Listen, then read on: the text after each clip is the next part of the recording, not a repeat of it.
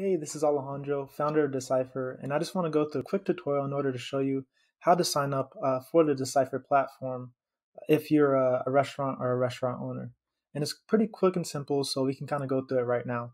So initially, you just got to start off with your name, your first and last name. Um, so for example, we'll go with Bilbo Baggins. I'm a fan of the Lord of the Rings, so let's go with that.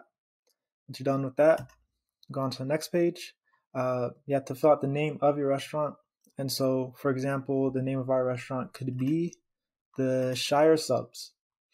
And then once you're done with that, you go on to what best describes you and your restaurant.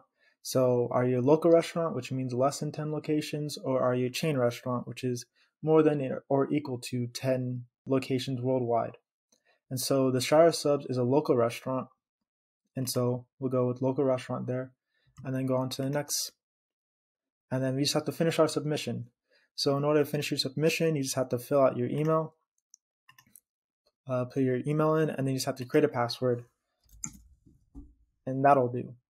And so right now, the Decipher website isn't live. It's still under construction. So we couldn't complete the sub- submission currently, but once it is ready to go in a couple weeks, then you could complete the, complete the submission and uh, you'll be ready to go and sign up for the Decipher platform and be ready to use our platform in order to increase your sales, increase the total addressable market you can reach out to, and a whole plethora of other things. Um, but this will just kind of give you an idea of what to expect whenever you sign up for the Decipher platform. And uh, with that being said, thank you for watching and have a great day.